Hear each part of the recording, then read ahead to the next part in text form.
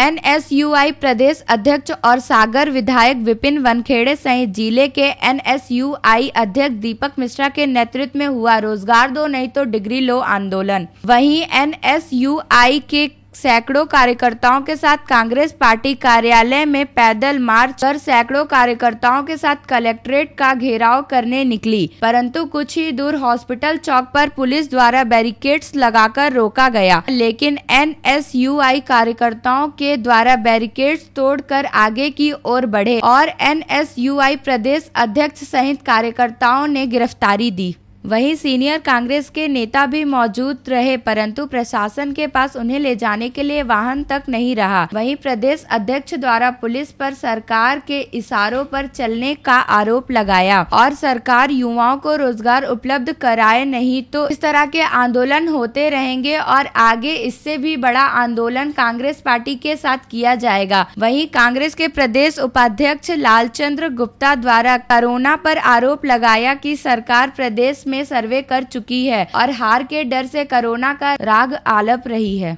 अब तो लोग समझ चुके हैं, जहाँ चुनाव होते हैं, कोरोना वहाँ नहीं होता। इसीलिए लोगों द्वारा यह कहा जा रहा है, यहाँ भी चुनाव करवा दिया जाए, परंतु चुनाव से डरी सरकार चुनाव नहीं करवा रही है। बहरहाल चुनाव नज़दीक आते ही सोते कांग्रेस के छोटे सिपाहियों, एनएसयूआई ने यह बतलाया कि हम ज़िंदा हैं और महीनों बाद आंदोलन का रुख अपनाया। कांग्रेस का इस पे कितना असर होता है और विपक्ष कब जागती है और आगामी चुनाव की क्या रणनीति बनती है, यह तो आने वाला समय तय करेगा। खोल खोल पोस्ट के लिए सीधी से राजू गुप्ता की रिपोर्ट।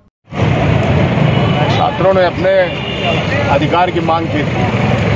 और छात्रों का छात्रों का जो इतने दिन से 15 साल 20 साल छात्र पढ़ाई करता है, ये 15-17 साल की सरकार है मध्य प्रदेश में, कितने नौजवानों को काम मिला? कितने नौजवानों को रोज़गार मिला? कितने नौजवानों को नौकरी मिली? ये विडम्बना है। और आज आप देखे रहे पुलिस का खेल, इतनी संख्या में है छात्र। इसके बाद भी पुलिस के पास एक गाड़ी बाकी दिखा देंगे कि तीस गिरफ्तारी, चालीस गिरफ्तारी इतने लोग खड़े हैं, पुलिस के पास गाड़ी नहीं है। आप वो गाड़ी लाए तो गिरफ्तारी करें। हम तो खड़े हैं, हम लोग तो भाग नहीं रहे करो गिरफ्तारी भाई। इसीलिए तो है, नौजवानों के साथ है हम लोग। नौजवानों के साथ अन्याय हो रहा है। कभी उनके प्रधानमंत्री जब पहली बार बने थे, दो करोड़ लोगों को प्रतिवर्ष नौकरी देंगे। आज वो मामला खोखल है, कहीं दिखाई नहीं दे रहा है। इसलिए छात्र रुक गए हैं। और जिस ओर जवानी जाती है, उस ओर जमाना जाता है। जवानों में ताकत होती है जवाना को पलटने की। नौजवान आंदोलित है, अपने अधिकार की बात कर रहा है। शिवराज जी चलाएँ जब तक ये पुलिस के दम पे सरकार चल रही है चलती रहे। वो तो आएँगे नहीं, कुछ करना नहीं है। पुलिस को आगे कर दिए कि पुलिस रोके। मध्य प्रदेश में पुलिस, भारतीय जनता पार्टी की सरकार के इशारों पर गुंडागर्दी पर उतर आई है। आज हमारे साथ भी धक्का मुक्की हुई है। कई और अन्य जगहों पर विधायकों के साथ, पार्टी के वरिष्ठ नेताओं के साथ गलत व्यवहार किया जा रहा है। कांग्रेस कार्यकर्ताओं को परेशान किया जा रहा है। घर, मकान तोड़े जा रहे हैं। इसका जवाब 2023 के चुनाव में जनता निश्चित देगी भैया क्या कहेंगे जिस तरह से आज पूरा अमानवीय कृत्य जो सामने आया है लगातार धक्का मुक्की चलती रही आप लोग कलेक्ट्रेट तक नहीं पहुँच पाए पुलिस के पास इतने बाहर नहीं थे कि आपके जो अन्य कांग्रेसी नेता है उनको भी गिरफ़्तार कर आधे लोग तो वहाँ छूट गए? देखिए पुलिस का काम है शिवराज सिंह जी के इशारे पर लगातार कांग्रेसियों के साथ अभद्र व्यवहार करना जो कि पुलिस सफलतापूर्वक कर रही है। हमारी मांग थी हम शांतिपूर्वक तरीके से कलेक्टर से मिलना चाहते थे ज्ञापन देना चाहते थे लेकिन ना कलेक्टर महोदय मिलने आए ना पुलिस ने कलेक्टर तक पहुँचने दिया उल्टा हमें गिरफ़्तार कर लिया। धन्यवाद भैया।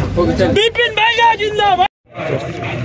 ये आज जो है एन के द्वारा जो बेरोजगारी और अन्य जो हॉस्पिटल के मा- मांग थी उसको लेकर के धरना प्रदर्शन किया गया था। इस परिप्रेक्ष्य में जो पुलिस के द्वारा कार्रवाई की गिरफ्तारी की प्रक्रिया इसमें जारी मैम, इन लोगों का आरोप था कि पुलिस जो है कि शिवराज सिंह चौहान के इशारे पे काम कर रही है। तो क्या पुलिस अब सरकार के इशारे पे काम कर रही है? जो पुलिस हमेशा निष्पक्षता बरतते हुए कार्य करती जी।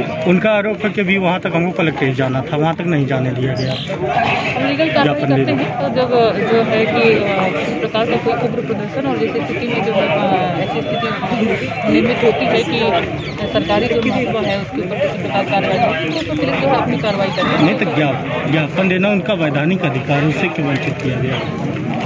ज्ञापन देने ज्ञापन वहाँ पे लिया नहीं उनका कहना है कि लोकतंत्र की हत्या की गई है सीधी पुलिस के द्वारा।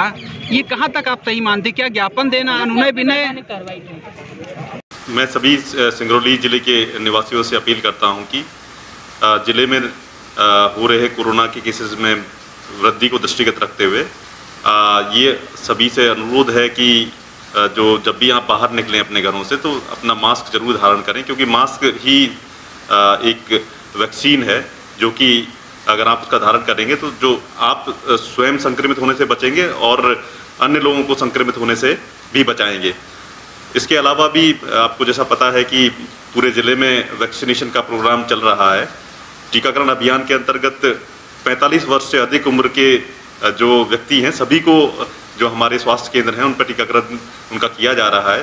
टीकाकरण से जो आपकी रोग प्रतिरोधक क्षमता में वृद्धि होगी और आप अपने आप को जो इस बीमारी से जो कोरोना की महामारी जो सभी को अपनी चपेट में लिए हुए उससे आप अपने आप को बचा पाएँगे और अपने निकटतम जो आपके घर में और भी, जो आपके सदस्य हैं, उनको भी आप इस टीकाकरण से बच, टीकाकरण से इस बीमारी से निजात आप दिला पाएँगे।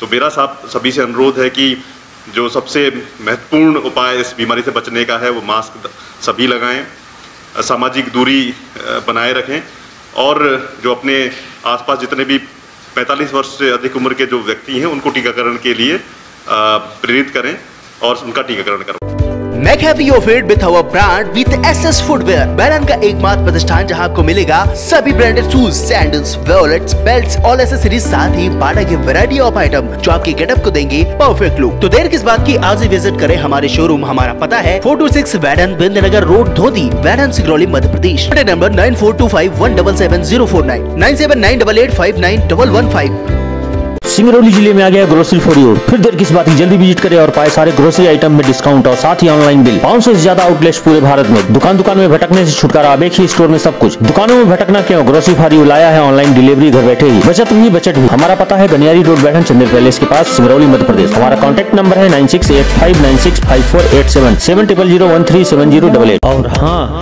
हमारे चैनल को सब्सक्राइब करें। घंटी का बटन दबाना न भूलें, जिससे नई अपडेट आपको समय समय पर मिल सके।